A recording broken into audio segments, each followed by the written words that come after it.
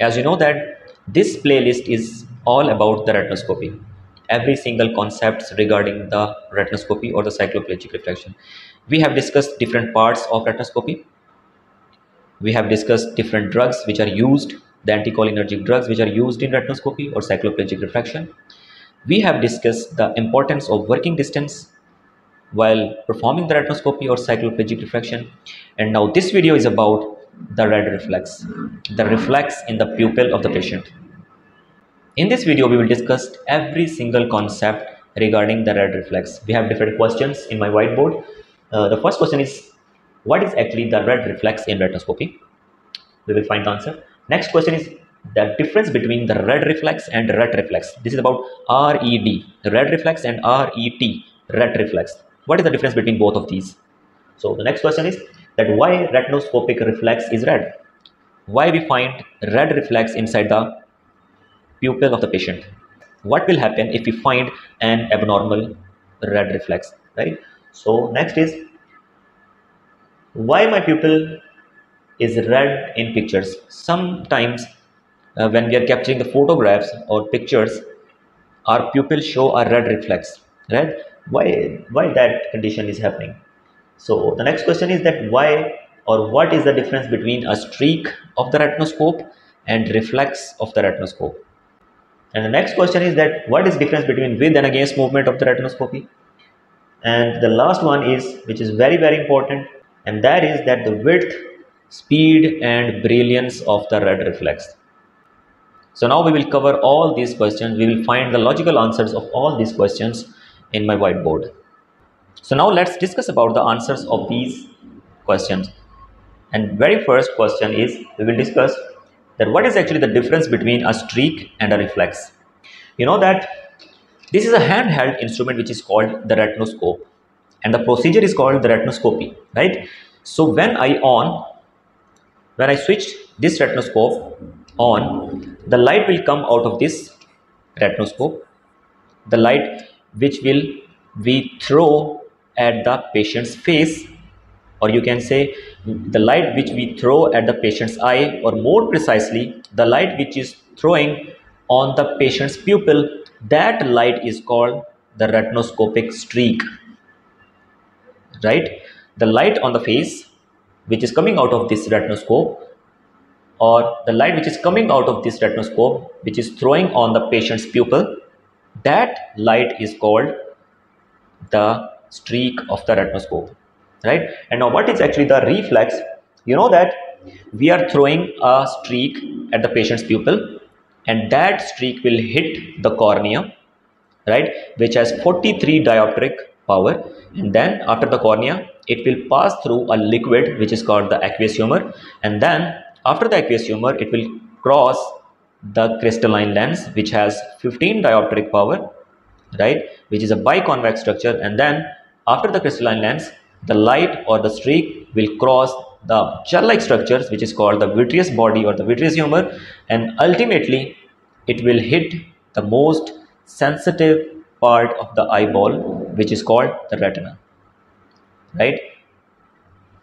Now from the retina that streak will reflect back and that reflection of the streak which we can see in the pupil that reflects or that light which is reflecting back in the pupil that light is called the reflex. So the streak was the light which is going towards the patient's face or patient's eye or patient's pupil.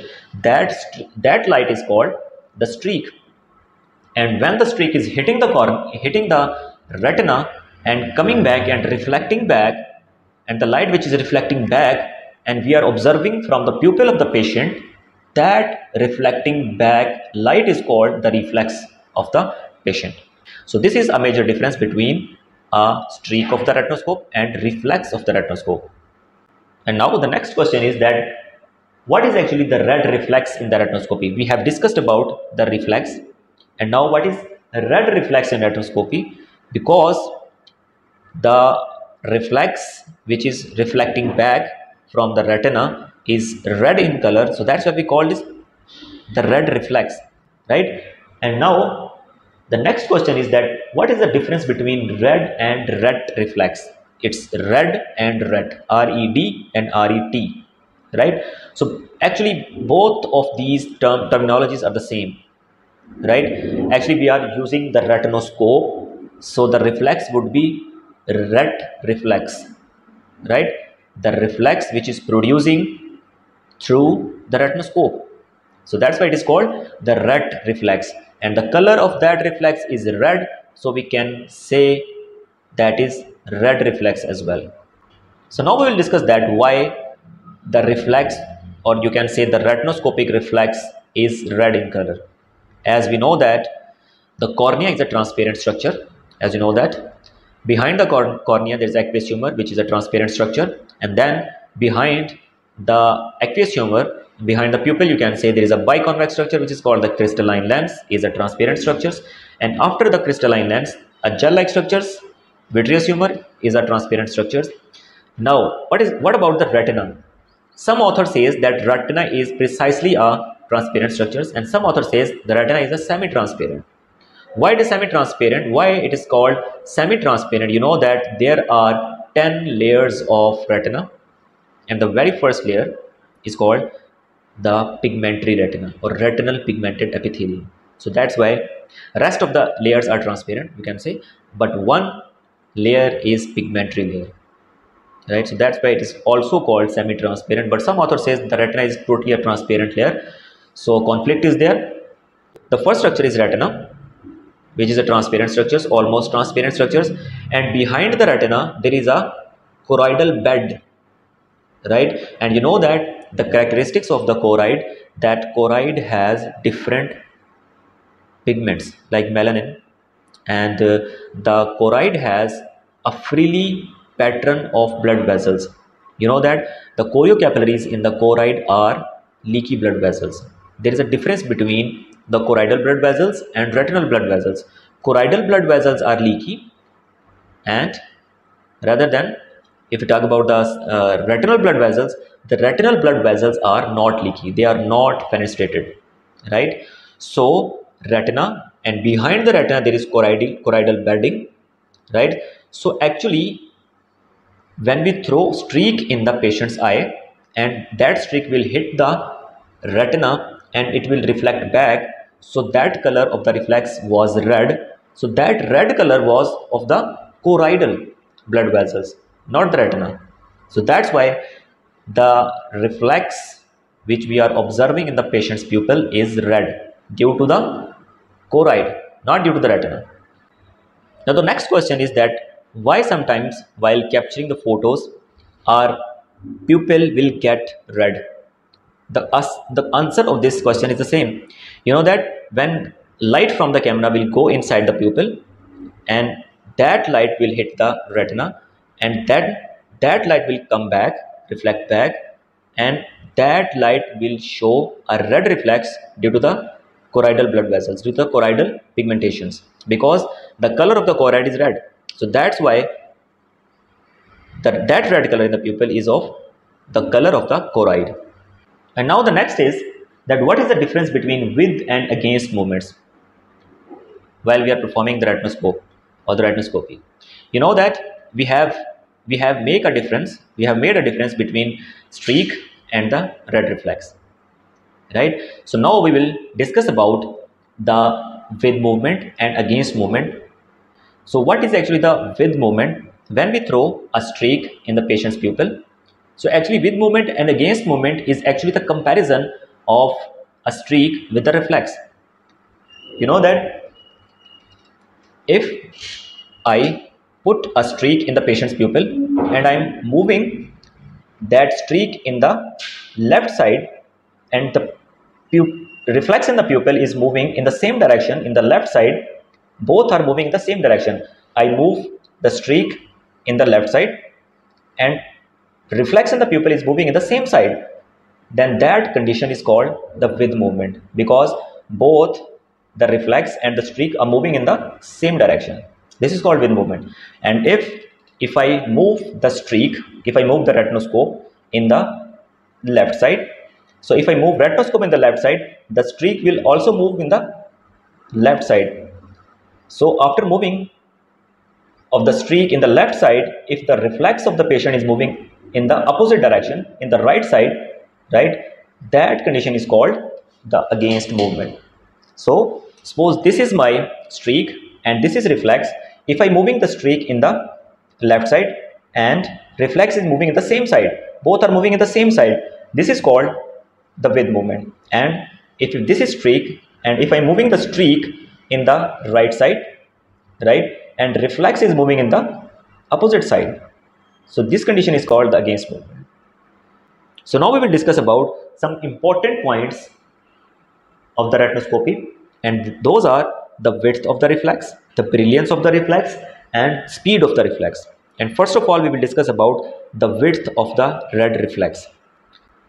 And these are important points. You have to keep it in mind.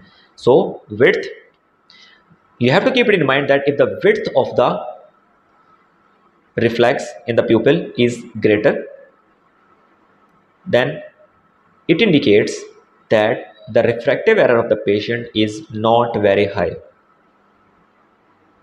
Right? And if the width of the pupil is narrow then it means the refractive error of the patient is high. So that was about the width of the reflex.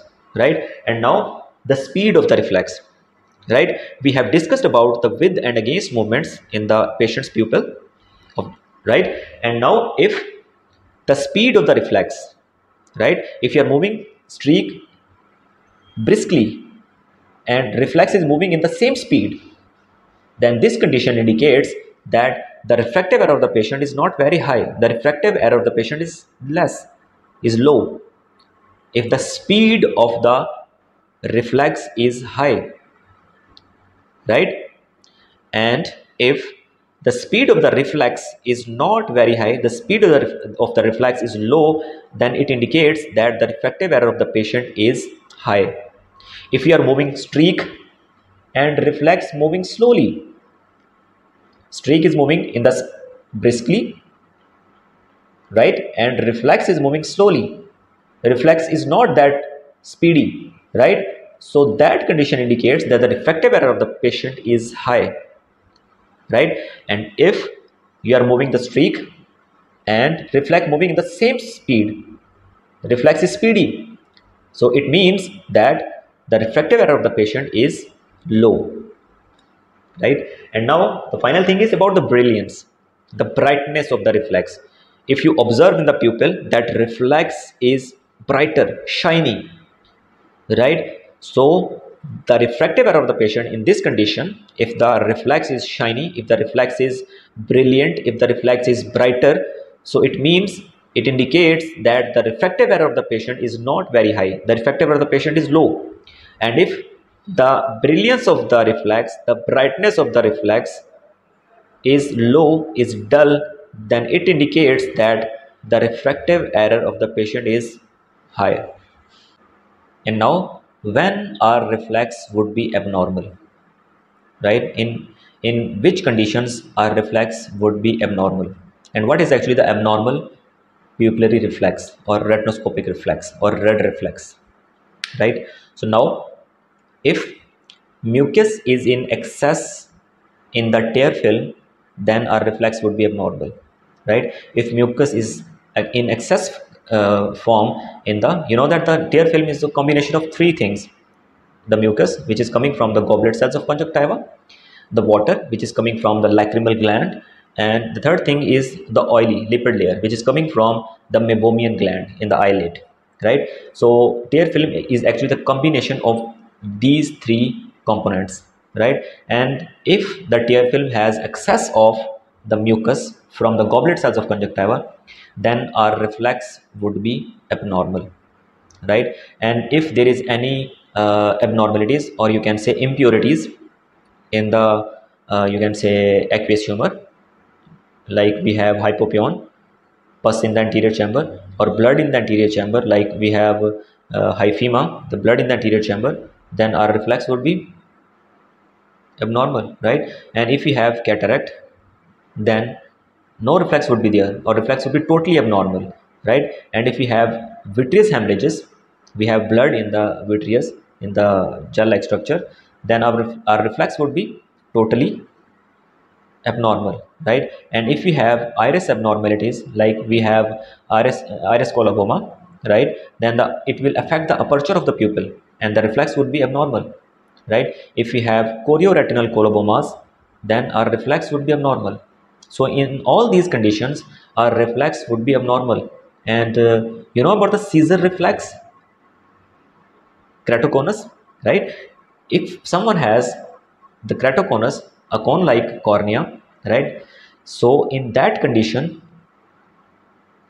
the reflex would be scissor like. We will make a detailed video on this topic. So in all these conditions our reflex would be abnormal hope this is clear. And in the upcoming videos we will discuss about the straddling in the retinoscopy skewing in the retinoscopy sweeping in the retinoscopy. A lot of things are there regarding the retinoscopy. We'll see you in the next videos